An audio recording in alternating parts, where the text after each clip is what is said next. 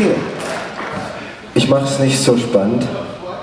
Ähm, gewonnen heute Abend hat, wie unangenehm,